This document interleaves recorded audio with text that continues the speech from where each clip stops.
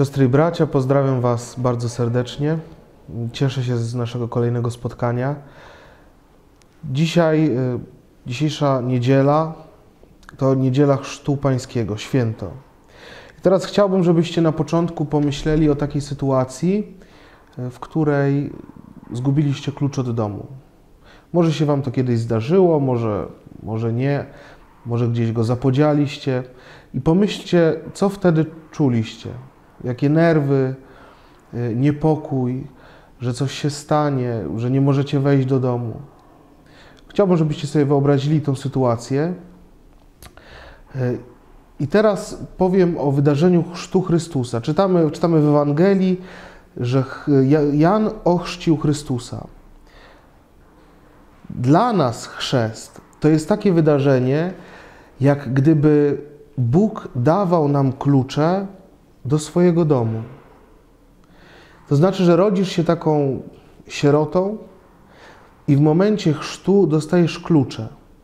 Masz łaskę, Bóg zabiera od ciebie grzech pierworodny i śmiało możesz wejść do domu Ojca.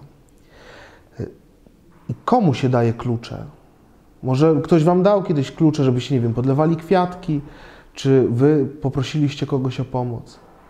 Dajemy klucze tylko tym, którym ufamy, że nie zrobią nic złego, na których się nie zawiedziemy.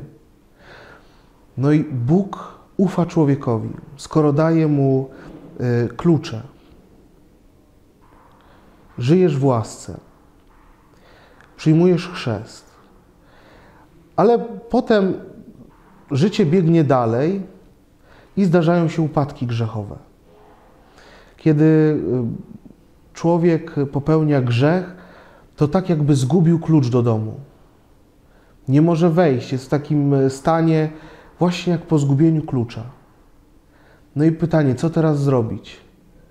No ale nie ma co się martwić, dlatego że klucz, duplikat kluczu można dostać w konfesjonale. Kiedy idziemy do, do spowiedzi, wyznajemy nasz grzech, Bóg daje nam przez posługę kapłana klucz. Masz. Jeszcze raz kolejny klucz. I w konfesjonale dokonuje się coś takiego bardzo przedziwnego, że człowiek nie tylko dostaje klucz od Boga, ale też Bogu daje klucz do swojego serca. Zaprasza Boga, że, żeby wszedł do jego życia. I w tym układzie grzech będzie dla nas czymś takim jak wymiana zamka.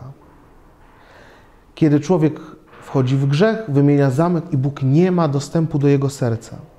Bóg się nie narzuca człowiekowi. Chce jego wolności, daje mu wolność, więc wejdzie dopiero do naszego życia, kiedy my go zaprosimy, kiedy damy mu y, klucz. No i teraz może powstawać pytanie, czy jeżeli ja nie dam klucza, to Bóg y, zabierze mi ten, który mi dał. Otóż nie.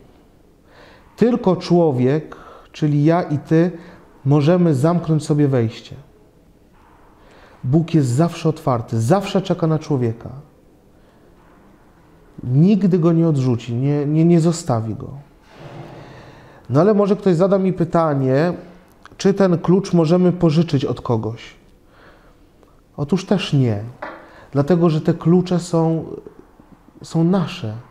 One są indywidualne. Każdy jest inny, każdy ma inne ząbki, tak jak, tak jak my. Każdy, każdego życie jest inne. Chociaż jest brama sakramentów chrzest, rodzimy się, tak samo przychodzimy na świat, to nasze życie jest inne. Jedni cierpią więcej, drudzy cierpią mniej, mają rodziny, idą do zakonów, przeróżne życie, tak jak, tak jak klucze. I trzeba nam dzisiaj dziękować rodzicom za to, że poprosili Kościół o chrzest dla nas, że postarali się, jak tylko mogli, zagwarantować nam to lepsze życie. Poprosili Boga o to, żeby dał nam klucze do mieszkania, żebyśmy w tym mieszkaniu mogli się spotkać, żeby byli tam rodzice, żebyśmy tam byli my, nasi bliscy, przyjaciele, wszyscy zgromadzeni wokół Boga. I za to dzisiaj myślę, że trzeba najbardziej dziękować rodzicom i zachęcam do tego dziękczynienia. Ja moim rodzicom bardzo za to dziękuję. Y, I wszystkich, którzy może wahają się, czy udzielić, y, udzielić dziecku tej możliwości, żeby zanieść do kościoła i prosić o chrzest. Niektórzy mówią, że może trzeba zdecydować, niech dziecko samo zdecyduje. Rodzice, nie odbierajcie dzieciom tej łaski, bo gdzie się z nimi później spotkacie.